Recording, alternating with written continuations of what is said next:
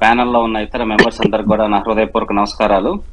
మూర్తి గారు మన స్టార్టింగ్ నుంచి గమనిస్తూ వస్తుంటే ఆ రోజు ముఖ్యమంత్రి గారు ఒక మాట చెప్పడం జరిగింది ఎలక్షన్స్కి ముందు. ఇరవై ఐదుకి ఇరవై ఐదు ఎంపీ సీట్లు ఇవ్వండి. నేను కేంద్రం మెడలు వంచైనా సరే ఈ ఆంధ్రప్రదేశ్ రాష్ట్రాన్ని అభివృద్ధి పదంలోకి తీసుకో తీసుకెళ్తాను. వాళ్ళకి మన మద్దతు అవసరం కాబట్టి కావాల్సినటువంటి నిధులు అన్ని తీసుకొచ్చి అద్భుతంగా ఆంధ్రప్రదేశ్ రాష్ట్రాన్ని ముందుకు తీసుకెళ్తానని చెప్పడం జరిగింది. మళ్ళీ తర్వాత ఎలక్షన్స్ అయిపోయిన తర్వాత ఆ మన అవసరం లేకుండా అక్కడే ఢిల్లీలోనే ప్రెస్ మీట్ పెట్టారు ఆ రోజు ముఖ్యమంత్రి గారు. ఆంధ్ర ఏపీ భవన్లో పెట్టి మన అవసరం లేదు కాబట్టి ఈ రోజు మనం సీట్లు లేవు కాబట్టి వాళ్ళని మనం రిక్వెస్ట్ చేసుకొని మరి మాత్రమే మనం కేంద్ర కేంద్ర ప్రభుత్వంతో పనులు చేయించుకోవాలని చెప్పని సార్ చెప్పడం జరిగింది. కానీ వాస్తవం ఏంటంటే ఆయన మీద ఉన్నటువంటి ముఖ్యమంత్రి గారి మీద ఉన్నటువంటి అక్రమార్జన కేసులు అయితేనే ఏవైతేనే ఏమున్నాయో వాటినన్నిటినీ మీరు జోలికి రావద్దు. మీకు ఏది కావాలంటే అది చేసి పెడతాను ఈ ఆంధ్రప్రదేశ్ ప్రభుత్వంలో. మీకు నేను ఆ కట్టు కట్టు బానిసలాగా ఉంటానని చెప్పినసి ఆ రోజు చెప్పిన విధంగా మనం అందరం చూడటం జరిగింది. ఆయన చేసే పనులు కూడా అదే విధంగా కనపడుతున్నాయి. ఒక్క కేసు విషయం ఏదైనా ముందుకొస్తే ఇమీడియట్గా ఢిల్లీ వెళ్ళటం మళ్ళీ రిక్వెస్ట్ చేసుకోవటం రావటం ఇది చేయటం తప్పిస్తే ఏ రోజు కూడా ఒక్క రోజు కూడా డిమాండ్ చేస్తూ మా రాష్ట్రానికి ఇంత అన్యాయం జరిగింది.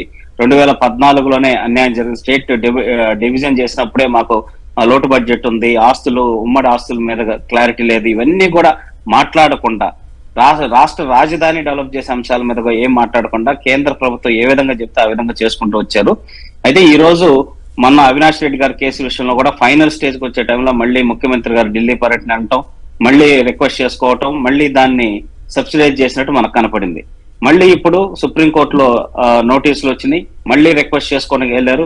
అయితే దీంట్లో పోలవరం నిధులు వీటన్నిటి కోసం వెళ్ళామని కూడా చెప్పారు. అయితే దాంట్లో ఒక వాస్తవం అయితే ఉందనిపిస్తుంది నాకు. పోలవరం విషయంలో. ఆ రోజు కంపెనీని మార్ మార్చి రివర్స్ టెండరింగ్ తీసుకొచ్చి మేము డ్యామ్ విషయంలో రెండు వందల కోట్ల రూపాయల ఆదాయ ఆదాయం చేసే ఆదా చేసామని చెప్పేసి చాలా గొప్పగా చెప్పారు ముఖ్యమంత్రి గారు కానీ ఆ రోజు మంత్రులు కానీ సో ఈ రోజు చూస్తే ఒక ఆ, ఎగువ డయాఫ్రామ్ వాళ్ళు దగ్గర గ్యాప్ ఉండటం వల్ల సరిగ్గా ఇన్ టైంలో కట్టలేకపోవటం వల్ల. అది శాండ్ అంతా ఇసుకంతా కొట్టుకుపోయి ఈ రోజు ఎంత నష్టం జరిగిందనేది మనం చూస్తా ఉన్నాం. అది ఒక ఇన్ఎక్స్పీరియన్స్ కంపెనీ అంటే ఇన్ఎక్స్పీరియన్స్ అంటే మిగతా రంగాల్లో మెగా ఇంజనీరింగ్ అనే కంపెనీ మిగతా లిఫ్ట్ ఇరిగేషన్ వాటిలో వాళ్ళకి ఎక్స్పర్టైజ్ ఉంది కానీ యాభై నాలుగు లక్షల క్యూసెక్ల కెపాసిటీ ఉన్నటువంటి రాక్ఫిల్ డ్యామ్ లాంటి డ్యామ్ కట్టిన ఎక్స్పీరియన్స్ వాళ్ళకి ఎక్కడా లేదు.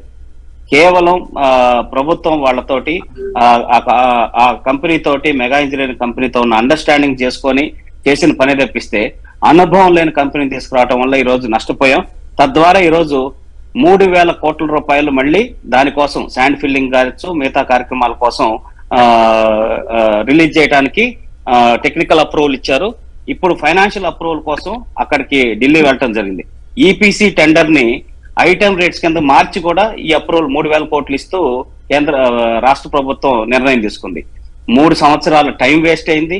మూడు వేల కోట్ల రూపాయలు ఆ రోజు రెండు వందల కోట్ల రూపాయలు మేము ఆదాయ ఆదా చేసామని చెప్పారు.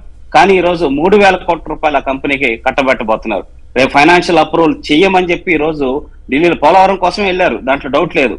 ఆ మూడు వేల కోట్ల అప్రూవల్ తీసుకొని రేపు శాండ్ ఫిల్ చేశామని చెప్పి ఏదో ఒకటి చెప్పి ఒక వెయ్యి కోట్ల రూపాయలు ఎలక్షన్ ముందల్లా తీసేసుకొని ఆ ఎలక్షన్లో వాడుకోవడం కోసం ఇట్లాంటి ఆలోచనలతో తప్పిస్తే ఈ రోజు పోలవరాన్ని చిత్తశుద్ధితో పూర్తి చేద్దాం అనేటువంటి ఆలోచన వన్ పర్సెంట్ కూడా లేదు. దానివల్ల ఈ రోజు ఆ, రాష్ట్ర ప్రభుత్వం ఎంత నష్టపోయిందో రాష్ట్ర ప్రజలు ఎంత నష్టపోయారో మనకు రాష్ట్రానికి రావాల్సిన ఆదాయం రమారేమి పోలవరం పూర్తి అయితే మనకి ముప్పై ఐదు వేల కోట్ల రూపాయల పైసలకు ఆదాయం వస్తుందని చెప్పేసి ఆ రోజు ఆ చెప్పడం జరిగింది. కానీ ఈ రోజు ఆ, ఒక్క అడుగు కూడా ముందు పడకుండా మళ్ళీ కేంద్ర మంత్రి గారు కూడా నిన్న కోపడ్డారని చెప్పనేసి మన మీడియాలో కూడా చూడటం జరిగింది. రెండు వేల ఇరవై ఐదు జూన్ కని చెప్పనేసి వాళ్ళు చెప్తే రెండు వేల ఇరవై నాలుగు జూన్ కల్లా కంప్లీట్ చేయాలి మీకు టైం ఎక్స్టెండ్ చేయమని చెప్పనేసి షెకావత్ గారు కోపడ్డారని చెప్పనేసి కూడా మనం చూడటం జరిగింది.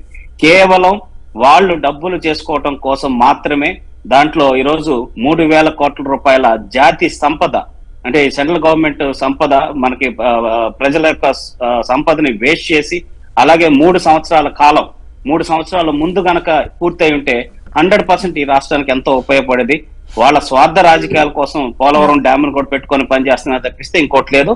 హండ్రెడ్ పర్సెంట్ ఎలక్షన్లకు సంబంధించి లేకపోతే వాళ్ళ అక్రమ ఆస్తుల కేసుల గురించి ఈ పోలవరం కూడా అడ్డం పెట్టుకొని డబ్బులు సంపాదించుకోవడం తీసుకోవడం కోసం మాత్రమే ఈ రోజు అక్కడికి కేంద్ర ప్రభుత్వంతో చర్చలకు వెళ్ళారని చెప్పి మేము భావిస్తున్నాం మూర్తి గారు.